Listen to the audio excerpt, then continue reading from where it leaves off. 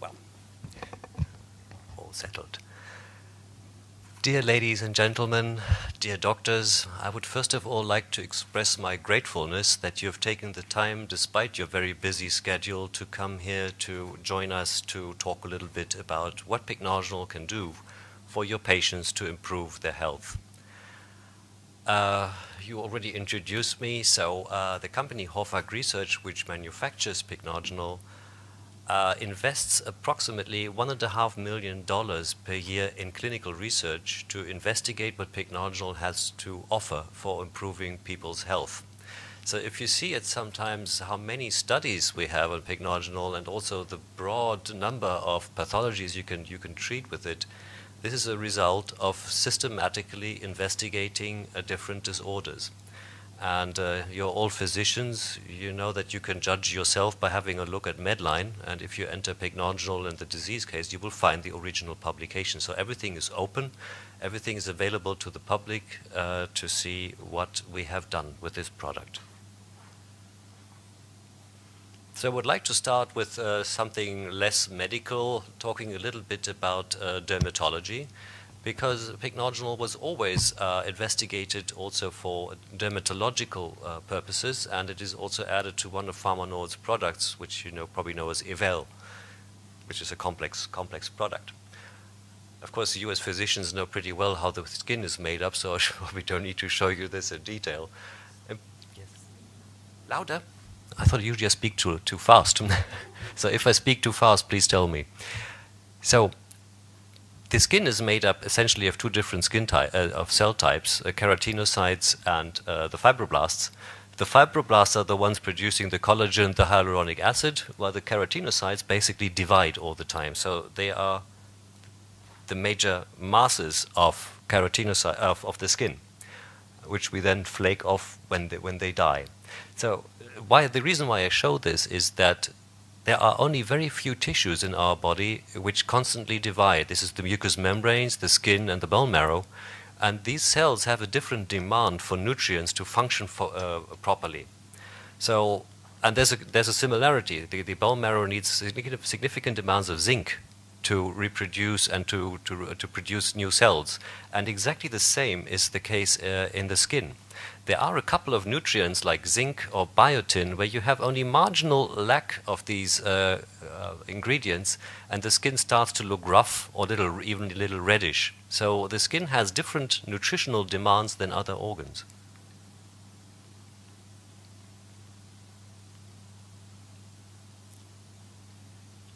So, of course, many uh, let's say the marketing people always tell you that you can uh, that you need to produce more collagen and that we are kind of born with collagen and it decreases and decreases while we age. That is of course not really not really the case.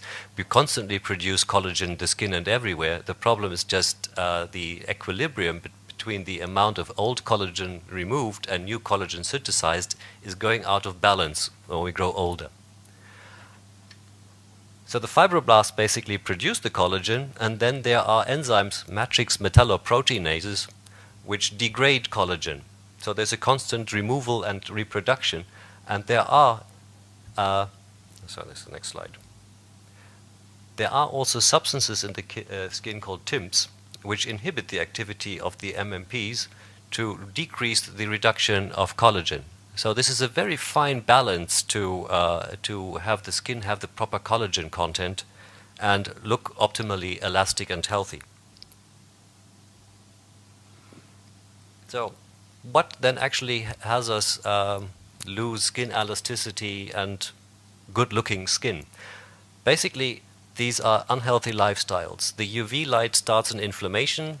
There is more of these MMPs destroying collagen cigarette smoking was explicitly shown to decrease the synthesis of collagen. It's not only the cancer problem, there's a significant impact on uh, skin health. Also, the advanced glycation end products of eating too much sugars has an impact on this on the uh, collagen synthesis. And of course, aging, which is one thing we really can't change. So this is usually there's an equilibrium between the amount of collagen produced and the amount of collagen are removed, and this goes out of balance with an unhealthy lifestyle. So this is a little uh, wrap up of essential components the skin needs to optimally divide and to look optimally healthy. Vitamin C, of course, that is no secret. Uh, without vitamin C, we can't produce functional collagen. But there are studies in humans showing that vitamin C stimulates the synthesis of collagen type 1. So having a little additional vitamin C helps to produce more collagen. Biotin and zinc are essential for a healthy skin, and the skin needs more than any other tissue except the bone marrow, which is also in that category. Selenium is a very important antioxidant part, and the glutathione uh, reductase. And polyphenols are very potent antioxidants, and I will now talk about uh, pycnogenol in more detail.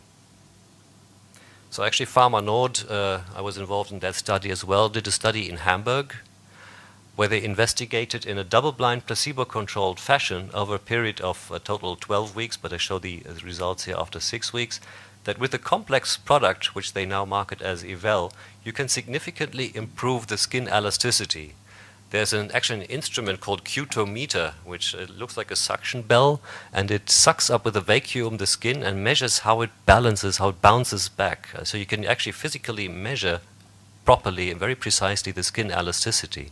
And it improved by 9% in women who were actually, of course, at, at higher age, because you will only see a, an improvement of the skin elasticity in women who already have already lost a little skin elasticity, while there was hardly any effect in the placebo group.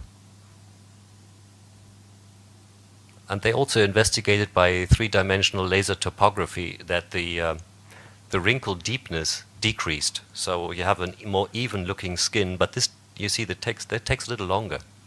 Uh, while the skin elasticity was improved after six weeks, uh, it takes 12 weeks until you see significant changes of uh, the wrinkle, wrinkle reduction.